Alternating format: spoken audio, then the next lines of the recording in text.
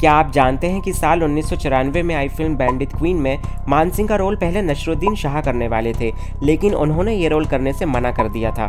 बाद में ये रोल मनोज वाजपेयी को मिला और इस तरह बैंडित क्वीन मनोज वाजपेयी की पहली फ़िल्म बनी।